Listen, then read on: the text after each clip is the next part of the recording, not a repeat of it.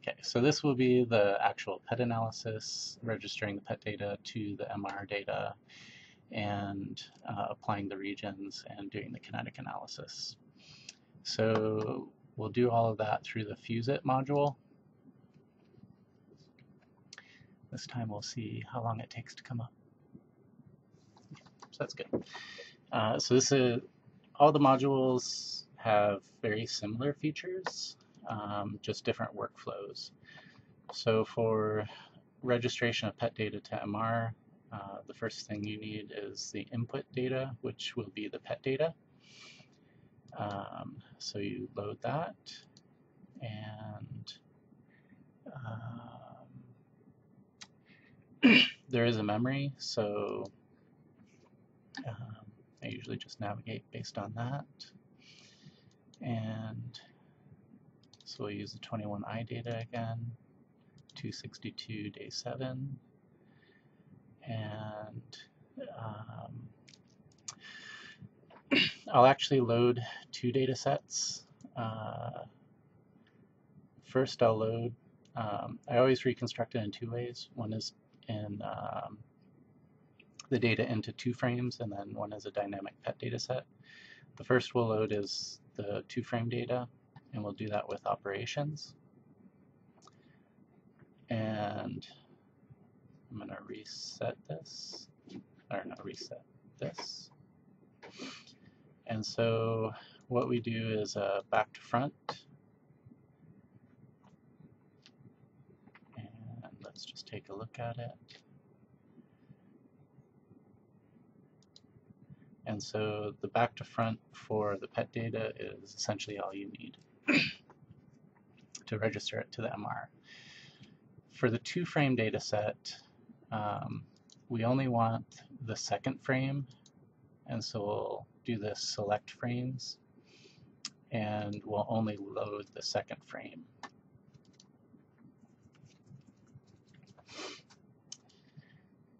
Um, and actually for the pilot data set,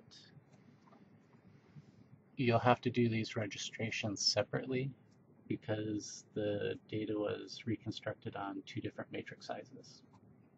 So the two frame data was reconstructed on a 256 by 256 and the dynamic data was reconstructed on a 128 by 128 matrix.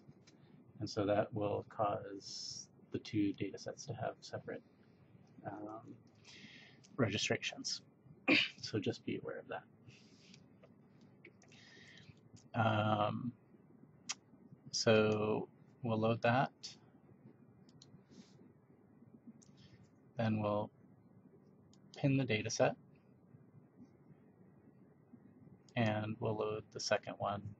Uh, so this will be what we can do for the um, any data sets for the DIBs and beyond.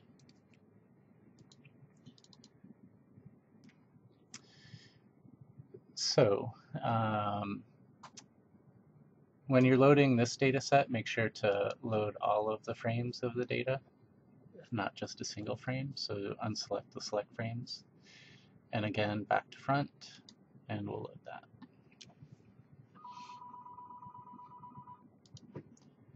And so now we should have two data sets loaded. Um, the single frame from the Yes. Uh, double frame reconstruction and then the dynamic PET data set. For the registration, we'll want to use just the, the single frame. Oh, okay. And so the next step Yeah, will be course. to load the reference data set, which is the MR, the T2 weighted. Okay, great. See you there. Thank you. Bye-bye. and we select that and now you want to make don't double click it um, just select it and then open with operations and again we'll switch it from natural to 180 degree because that's how we load the MR data and then what you should see is the initial overlay of the PET data set to the MR. Uh, MR is a little dark, so you can switch over to the reference tab to adjust the contrast. Um, and for this, I always like the cold um, color scale for the pet data, but you can, if, if you feel something else is more appropriate for you, uh, that's fine. Um, I'll adjust the contrast on that. And just to help me a little bit, sometimes I uh, weight it a little more towards the MR data set for the color blending. so once you have something that you like looking at for the registration, the first step is um, going to the manual re registration tool, which is this tab up here. Um, it's the reslicing tab. And what you'll see is that you get access to this little square. And if you hold in the middle of that, you can drag the pet data around.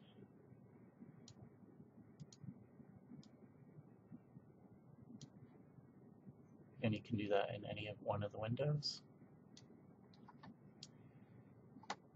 Um, actually adjust the pet a little more.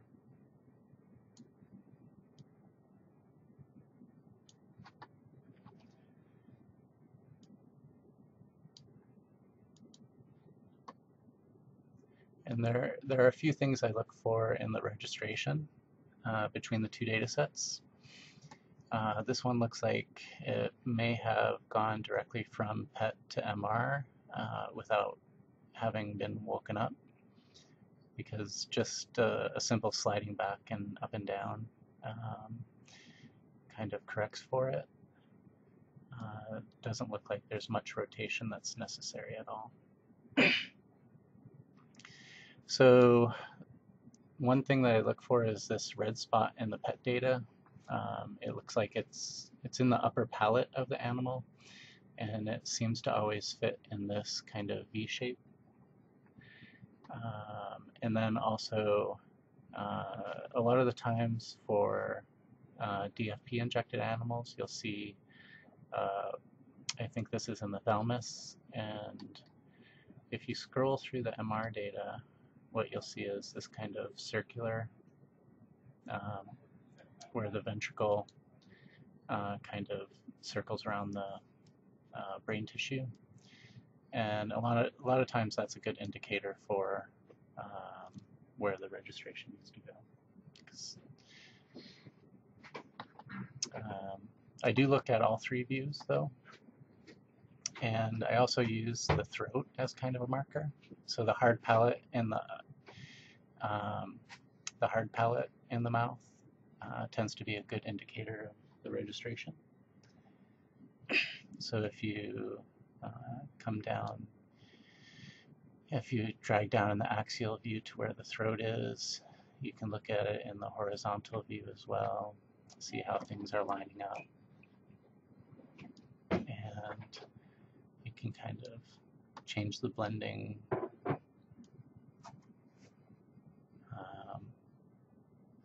but you can kind of you can start to see the correlation between the black areas in the MR and the lack of uptake in the PET, um, both in the throat and this area.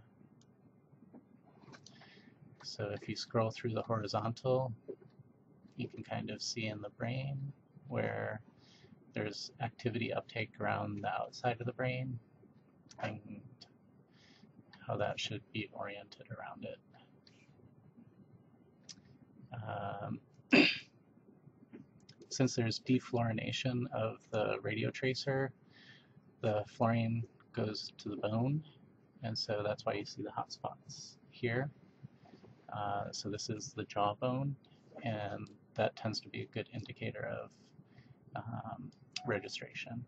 And so if if if the animal had woken up, you might see something like this. And so then you would just kind of rotate it so that you get a good overlay on both sides. Um, and this, so this is manual registration. Uh, once you get it into a good location, you can check um, if uh, the uh, automated method for matching um, can do a good job. Uh, it doesn't always, so um, sometimes I fall back on the uh, manual registration if this doesn't work. But if you hit, um, so we do a rigid registration and you can hit this match button. And it will look for a best fit. Um, and I think in this case, uh, it actually didn't do a good job in the registration because you can see that it's now pretty off. Um, so when you do that, it dumps you into the matched region. Uh, if we go back to the reference, then um, there is something about this. Uh, once it once it matches it, it crops it, and so you can go all the way back to the beginning. Um,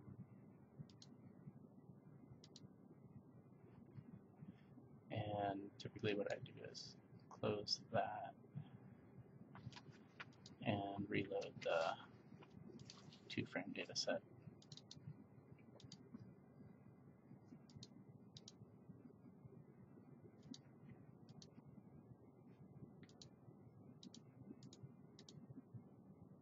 And each time you load a data set, you should look at the uh, operations because they'll have changed. And also take a look at the selected time because it will remember the last thing that was loaded, and if the MR data was loaded, it only had one frame, and so it'll revert to the single to the first frame, even for the pet data. Mm. so.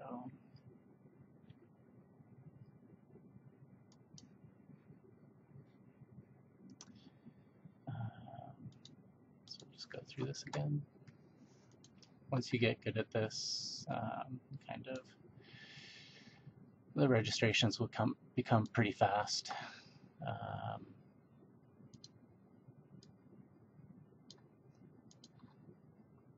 especially in the manual.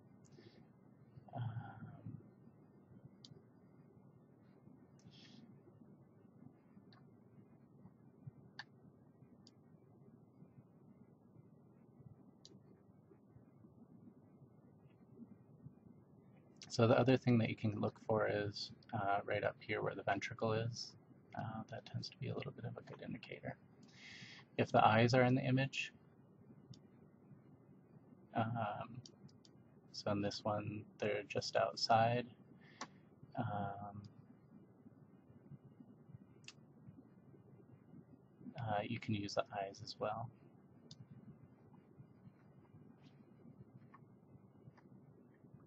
But that looks pretty good.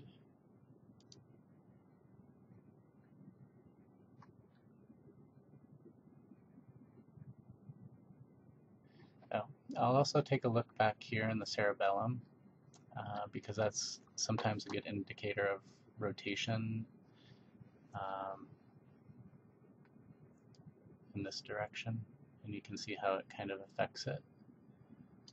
Um, but you kind of want to make sure that in the cerebellum you don't have this kind of um, seeping of the skull into the cerebellum because that'll affect the uh, results of the kinetic modeling. So I'll typically take a look at that to make sure that it's well aligned or, or well rotated.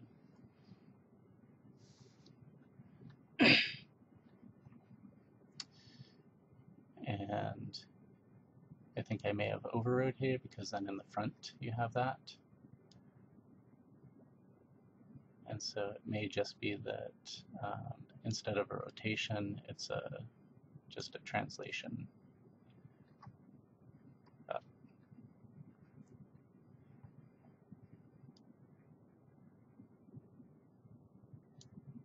you won't be able to get it perfect because there is some partial volume effect where there's um, activity that comes from because of the um, resolution of the scanner there will be some uh, seepage from the bone into other areas. Um, so if if the automated's not working, you can just skip that, um, but you do need to save the uh, registration, the transformation. And so if you're saving it out from just the reference uh, area of this module, then you, while you're on this tab, you just hit Save Transformation. So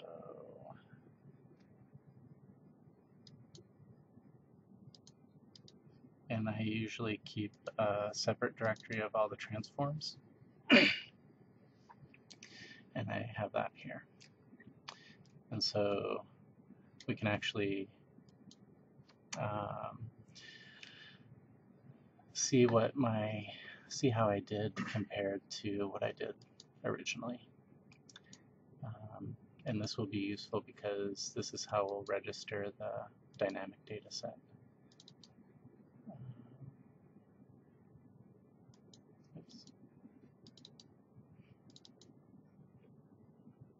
So it was pretty close. It just moved a tiny bit. Um, to, to register so once you have the registration matrix for the um, single frame, you can switch the data set over to the dynamic. And um, you can't see anything now because um, it's probably in a frame where there's not much data. So if you really crank the intensity down, you can start to see the PET signal. Um, and if you come back to the reslicing tool and open the transformation, uh, this is 262 day 7, uh, then you can see now the um, so one of the you can right click on the threshold bar and expand so that then you can get a, a expand the low dynamic range out so that you can kind of see the PET data. And now I can run through. So at early frames, there's no data because the injection hasn't occurred. And if you step through this, you'll at some point uh, so by frame 14, uh, the activity has started to come into the animal. And then you can start to see how the activity redistributes throughout the animal.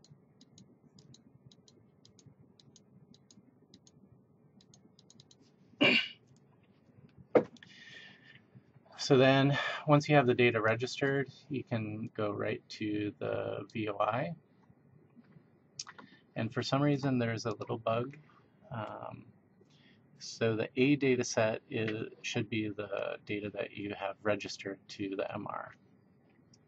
Uh, for some reason, it always likes to do MR for both of them. Uh, we'll select the single frame first.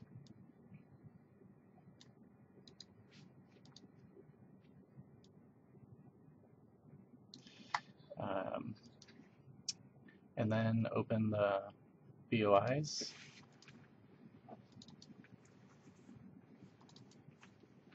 And you should see them overlaid. And so there will be two things to do for the analysis. Uh, the first is to get the um, from the, the single frame data want to get the statistics out, which will just be the mean activity value. Um, and you can see these are in kilobecquerel per cc. Um, what you can do is copy this to the clipboard. You can open an Excel file.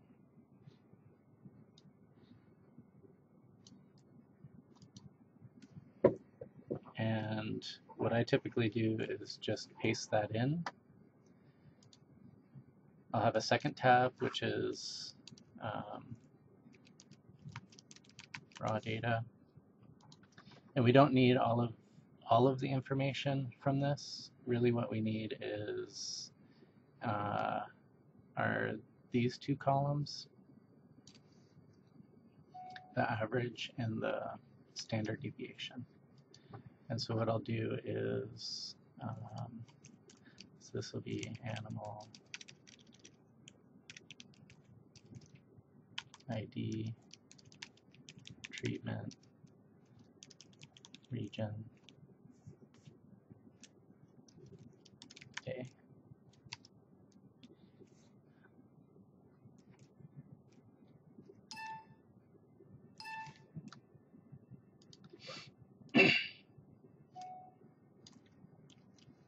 So those and then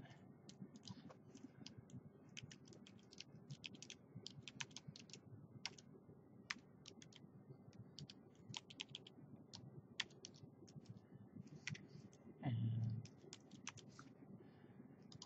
so we would do our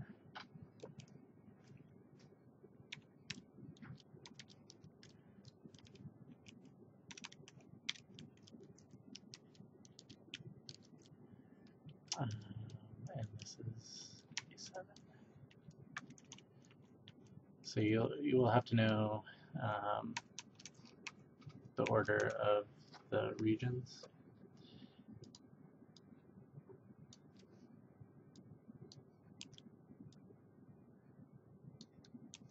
Uh, but this is how we start to set up our data. And so if the data gets set up this way, then um, Brad has a pretty standard method for sorting the data and getting averages and analyzing it. So um, this extra sheet you can just keep pasting over and just copy the averages over and populate this data sheet. So, um, so then you can close this and then what you would do is switch over to the dynamic data set. Again, the contrast would be different. So we can bring that back. And so now what we want to do is the kinetic analysis. Um, and what we'll do is there's this button right up here, which is the general kinetic modeling. And you just hit that button. And the first thing it does is it displays the time activity curves for all the regions.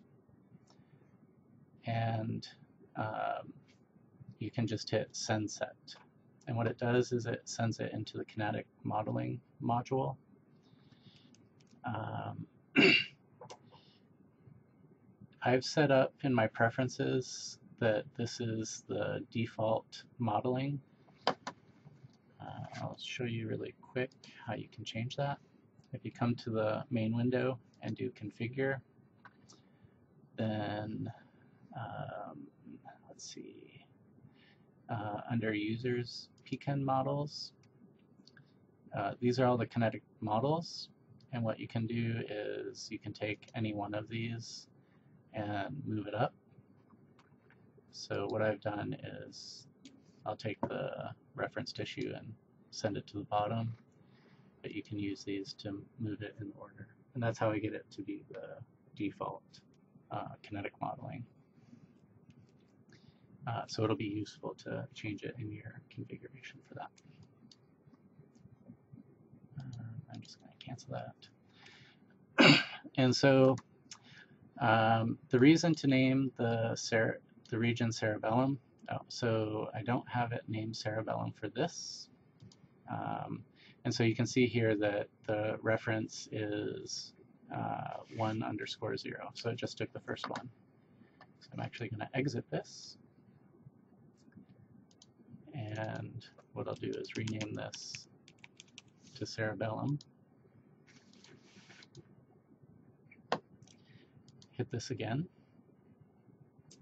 And so what you'll see is the last one is called cerebellum. I'll send it. And now instead of selecting 1 underscore 0, uh, it's selected the reference tissue as cerebellum uh, because typically cerebellum will be a reference tissue for this model.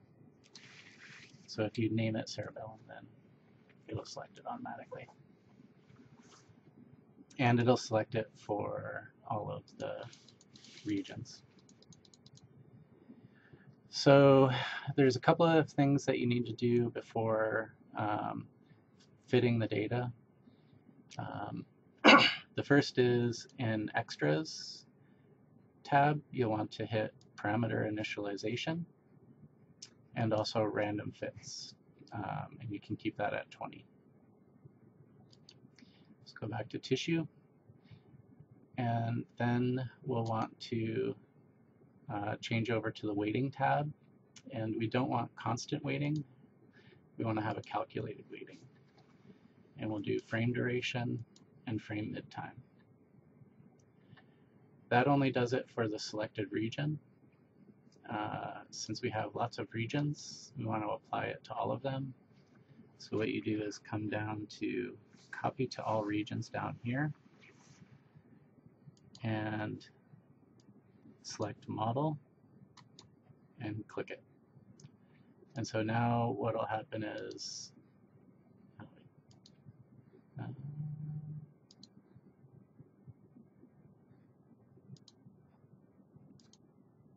oh sorry. Weighting. you want to click on weighting and copy that to all of them. And so now what you'll see is the weighting will have changed for all of the regions. So make sure you do that. And then at that point you're ready to just hit uh, fit all regions. And it'll do a fit of all the regions. And what you'll see is um, the this window has updated so that there's now a value for R1, K2, and binding potential. Um, you can look through these if you want. Um, basically what you have uh, over here in the data window where the points are displayed is that there are the individual data points uh, in green and then the blue line is the kinetic fit.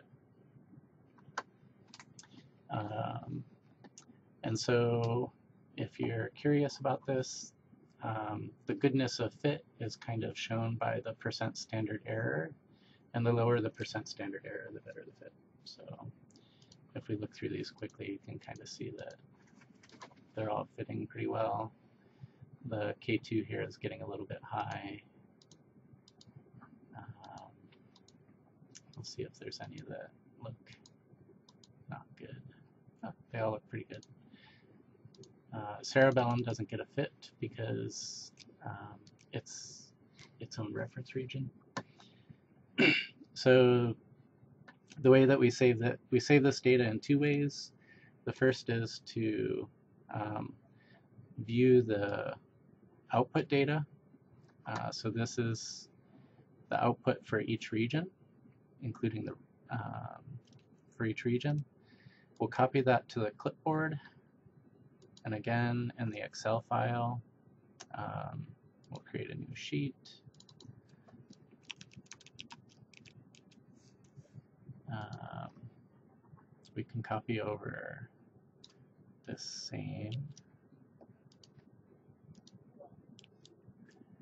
um, and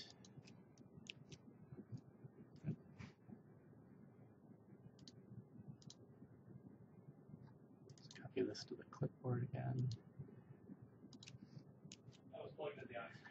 And so um,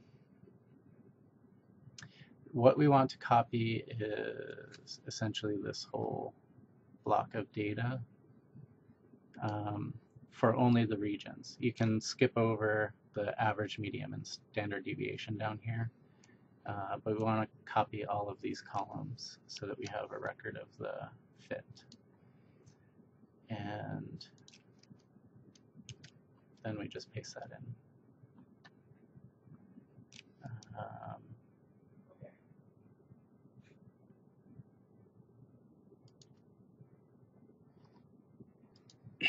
So be aware that when you um, dump the uh, single frame data, the mean values, the first line is the group average. So you don't need to copy that over. So you should just copy uh, only the region data.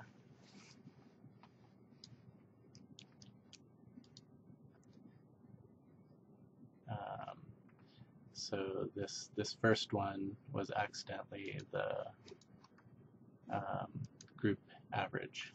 So I'll delete that out, and then what you would do is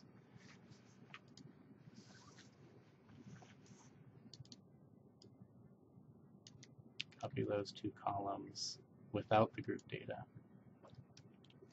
and paste those in.